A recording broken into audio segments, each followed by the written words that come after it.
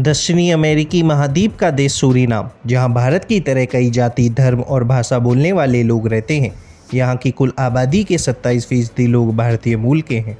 भारत और सूरीनाम की दोस्ती ऐतिहासिक और सांस्कृतिक संबंध पर बनी है। हालाँकि दोनों देशों के बीच व्यापार समक्षता काफ़ी कम है। इसीलिए द्विपक्षीय व्यापार को रक्षा, आयुर्वेद और फार्मा क्षेत्र में और बढ़ाने के लिए और सूरीनाम में भारतीयों के आगमन के डेढ़ सौ साल पूरे होने के अवसर पर भारतीय राष्ट्रपति द्रौपदी मुर्मू इस वक्त सूरीनाम के दौरे पर हैं। जहाँ राष्ट्रपति द्रौपदी के समकक्ष सूरीनाम के राष्ट्रपति चंद्रिका प्रसाद संतोखी ने उन्हें सूरीनाम के सर्वोच्च नागरिक सम्मान, the grand order of chain of yellow star से सम्मानित किया है।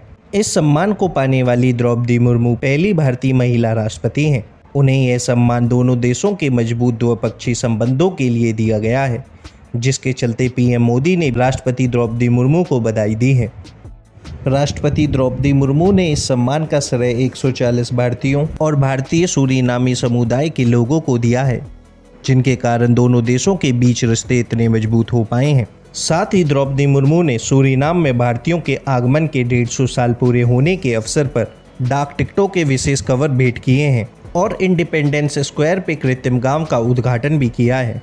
यही नहीं, साथ में रक्षा, आईटी और समक्षता निर्माण सहित कई क्षेत्रों में द्विपक्षीय सहयोग और मज़बूत किए जाने पर चर्चा और दोनों पक्षों में स्वास्थ्य और कृषि संबंधित विशेष क्षेत्रों में चार एमओयू भी साइन किए हैं, जिससे आप आने वाले दिनों में भारत और सूरीनाम के बीच व्यापार को और बढ़ता देख सकेंगे।